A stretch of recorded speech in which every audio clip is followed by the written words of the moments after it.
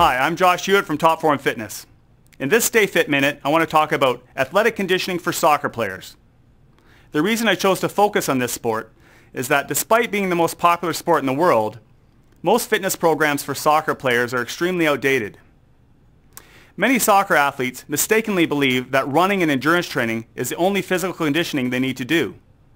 But if you think of what's actually involved in the sport, you're not just running, you're sprinting, jumping, maneuvering, squatting, lunging, and guarding. So other important aspects of physical conditioning need to be trained as well to become the best soccer player you can be.